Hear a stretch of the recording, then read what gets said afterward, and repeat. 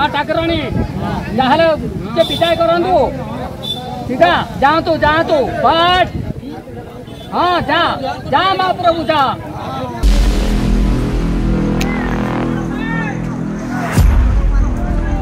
ହାତୀ ମା ଲକ୍ଷ୍ମୀଙ୍କର ବାହନ। ଏଣୁ ହାତୀଙ୍କୁ ସମସ୍ତେ ପୂଜା କରିଥାନ୍ତି।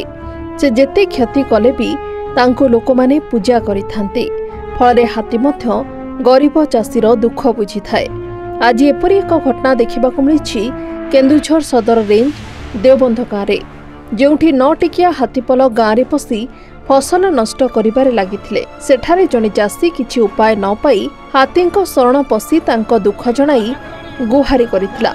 ସେମାନେ ସେଠାରୁ ପଳାଇ ଯିବା ପାଇଁ ବହୁ କାକୁତି ମିନତି ପରେ ହାତୀପଲ ଗରିବ ଚାଷୀଟିର ଡାକ ଶୁଣି ସେଠାରୁ ଅନ୍ୟତ୍ର ପଳାଇଥିଲେ ଯାହା ସେଠାକାର ଲୋକଙ୍କୁ ଚକିତ କରିଛି।